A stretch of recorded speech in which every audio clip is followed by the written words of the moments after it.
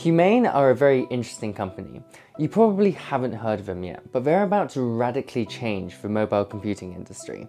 It's led by Imran Chaudhri, who is an ex-Apple designer who helped develop some of the early versions of iPhones and iPads. They just announced their first product, the Humane AI Pin, and while it doesn't get the same buzz as Apple, I honestly think this is the next iPhone moment. Humane envisions a future where smartphones are a thing of the past, and instead, with the rise of generative AI like ChatGPT and Bard, we interact with a device that remains in the background but still keeps us connected to the world without being tethered to a screen. The AI pin is primarily powered by ChatGPT 4, allowing for really advanced natural language queries, so you can pretty much ask it anything. For this reason, voice is the primary way of interacting with the AI pin. This includes using voice to send messages to friends and family, or to provide live translation when in a foreign country. Hey, uh, what should I get here?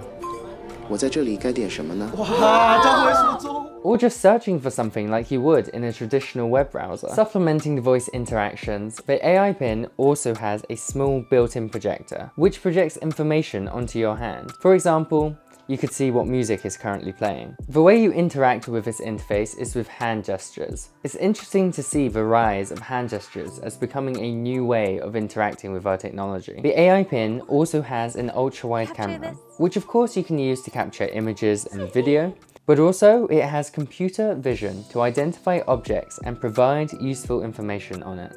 For example, you could bring a piece of fruit in front of a camera to find out its nutritional information. You might be asking, why does this type of product even exist? Well, I think it exists to help us become more present in the moment.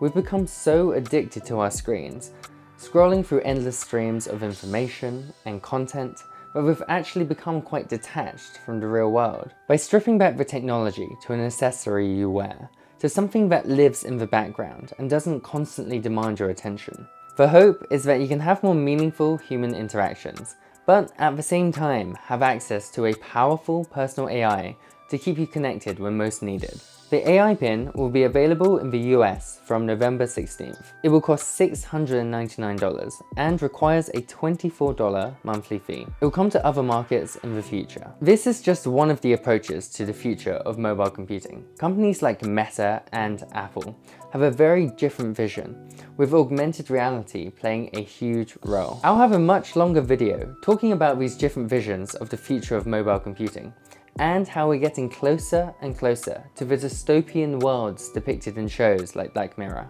Thank you for watching. Let me know what you think about the Humane AI pin. Do you think they have the right vision for the future? Or do Apple and Meta have the right idea? To stay up to date with my latest videos, please hit the bell icon. And to support the channel, a like and subscribe would be amazing. Until then, I'll see you in the future.